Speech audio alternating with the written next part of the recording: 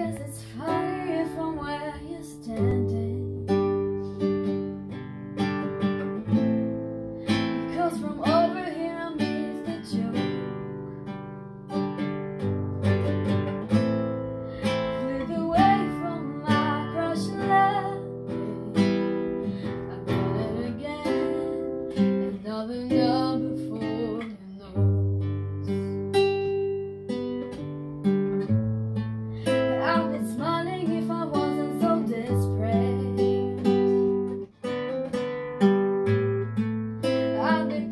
if I had the time.